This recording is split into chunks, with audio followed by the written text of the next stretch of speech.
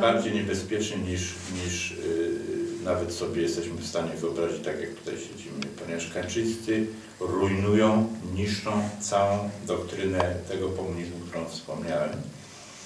E, I co Ewa Thompson powiedziała, to jest, powtórzę za nią, to jest jedyna prawdziwie polska partia, która e,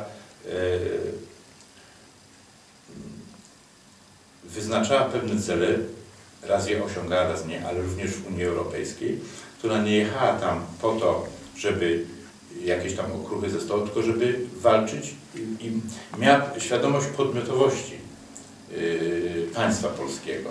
Natomiast proszę zauważyć, ja na wszystko. Do, dokonano poprzez Smoleńsk, a poprzez inne działania kompletnej destrukcji państwa.